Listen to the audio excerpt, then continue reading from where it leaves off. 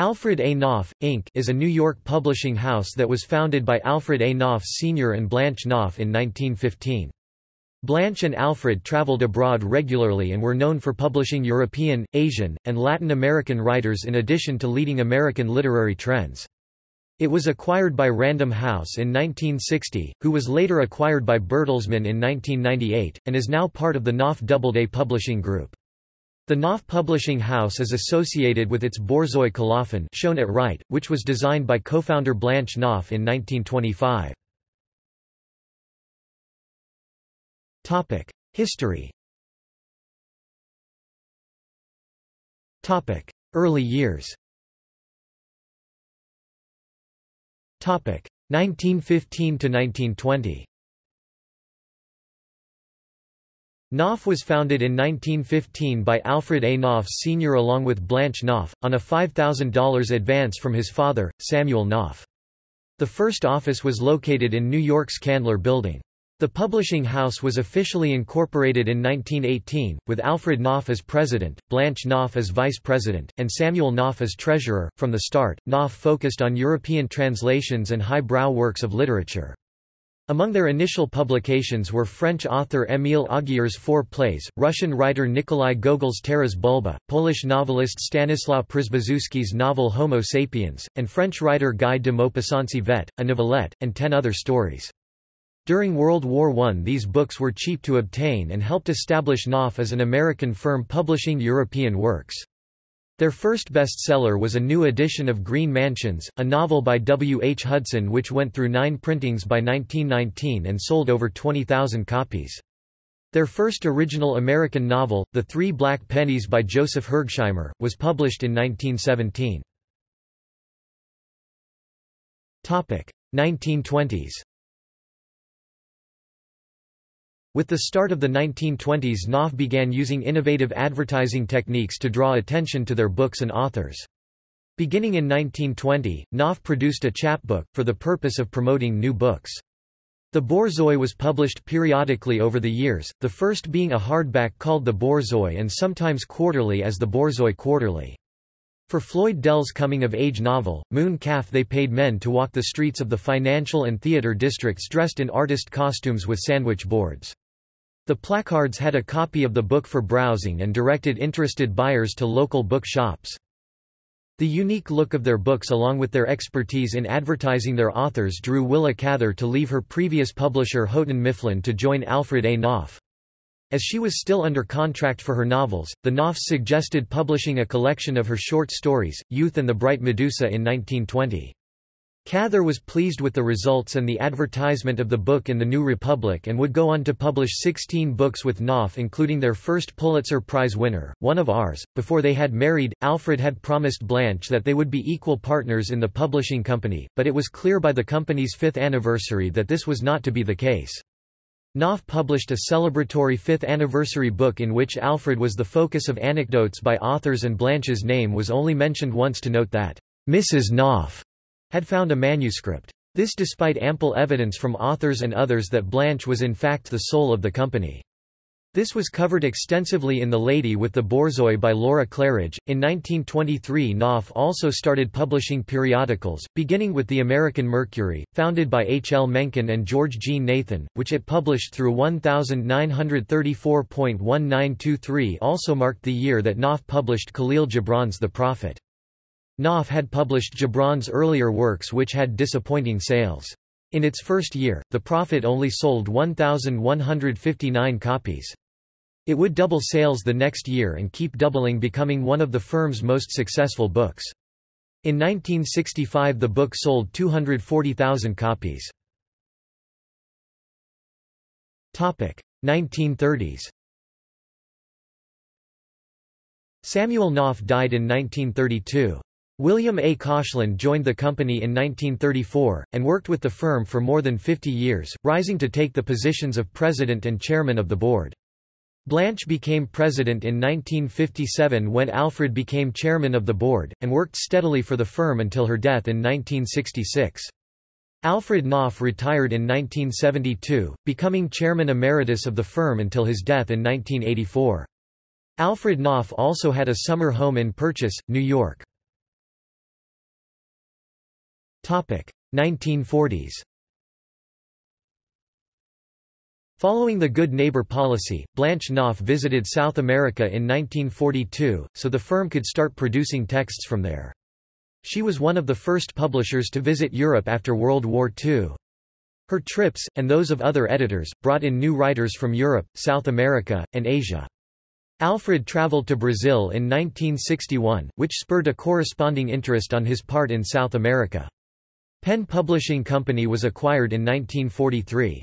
The Knopf's son, Alfred Pat Jr., was hired on as secretary and trade books manager after the war. 1950s In 1952, editor Judith Jones joined Knopf as an editor. Jones discovered Anne Frank, Diary of a Young Girl in a Slush Pile and later acquired Julia Child's Mastering the Art of French Cooking. Jones would remain with Knopf, retiring in 2011 as a senior editor and vice president after a career that included working with John Updike and Anne Tyler. Pat Knopf left his parents' publishing company in 1959 to launch his own, Atheneum Publishers with two other partners.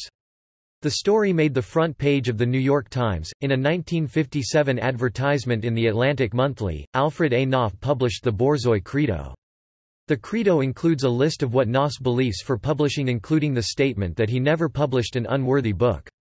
Among a list of beliefs listed is the final one. I believe that magazines, movies, television, and radio will never replace good books. Acquisition by Random House In 1960 Random House acquired Alfred A. Knopf. It is believed that the decision to sell was prompted by Alfred A. Knopf Jr., leaving Knopf to found his own book company, Atheneum Books in 1959. Since its founding, Knopf has paid close attention to design and typography, employing notable designers and typographers including William Addison Dwiggins, Harry Ford, Stephen Heller, Chip Kidd, Lorraine Louie, Bruce Rogers, Rudolf Ruzicka, and Beatrice Warde. Knopf books conclude with an unnumbered page titled, A Note on the Type which describes the history of the typeface used for the book. In addition, Knopf books date the year of the book's current printing on the title page. Knopf published textbooks until 1988, when Random House's Schools and Colleges division was sold to McGraw-Hill. In 1991, Knopf revived the Everyman's Library series, originally published in England in the early 20th century. This series consists of classics of world literature in affordable hardcover editions. The series has grown over the years to include lines of children's classics and pocket poets. Random House was acquired by Bertelsmann AG in 1998. In late 2008 and early 2009, the Knopf Publishing Group merged with Doubleday to form the Knopf Doubleday Publishing Group. Random House has been owned since its 2013 merger of Penguin Group by Penguin Random House, a joint venture between Bertelsmann 53% and Pearson plc 47%. Many of Knopf's hardcover books are published later as vintage paperbacks.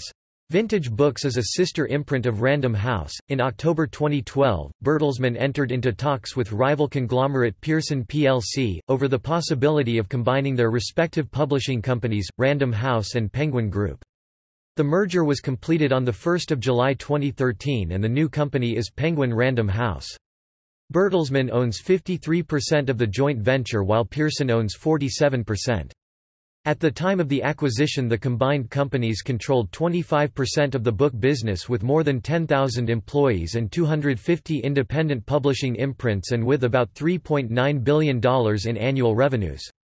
The move to consolidate was to provide leverage against Amazon.com and battle the shrinking state of bookstores. In 2015, Knopf celebrated its 100th anniversary by publishing a commemorative book, Alfred A. Knopf, 1915 to 2015: A Century of Publishing. Topic: Notable people. Topic: Notable editors and publishers. While there have been many notable editors at Knopf there have only been three editors-in-chief, Alfred A. Knopf Sr., Robert Gottlieb and Sonny Mehta. Other influential editors at Knopf included Harold Strauss Japanese literature, Herbert Weinstock biography of musical jargon composers, Judith Jones culinary texts, as well as Angus Cameron, Charles Eliot, Gary Fisketjon, Lee Goerner, Ashbel Green, Carol Brown Janeway, Michael Magzis, Anne McCormick, Nancy Nicholas, Daniel Okrent, Regina Ryan, Sophie Wilkins, and Vicki Wilson. Knopf also employed literary scouts to good advantage. Notable authors Alfred A. Knopf has published thousands of books from thousands of authors, including Albert Camus, John Banville, Carl Bernstein, Robert Caro, Willa Cather, Julia Child, Bill Clinton, Joan Didion, Bret Easton Ellis, James Ellroy, Martin Gardner, Khalil Gibran, Lee H. Hamilton, Kazuo Ishiguro, John Keegan, Anne Rice, Nella Larsen, Jack London, Gabriel Garcia Marquez, Cormac McCarthy, Toni Morrison, Haruki Murakami, Christopher Paolini, Ezra Pound, Dorothy Richardson, Susan Susan Swan, Anne Tyler, Andrew Vachss, James D. Watson, and Elinor Wylie. Awards Logo The logo for Knopf is a Russian wolfhound or borzoi. Blanche Knopf suggested the borzoi for the logo to imply motion and the logo was used on both the spine and the title page of their books. References. External links. Official website. Alfred A. Knopf, Inc. Records, 1873–1996 at the Harry Ransom Center at the University of Texas at Austin. The Borzoi 1920, being a sort of record of five years publishing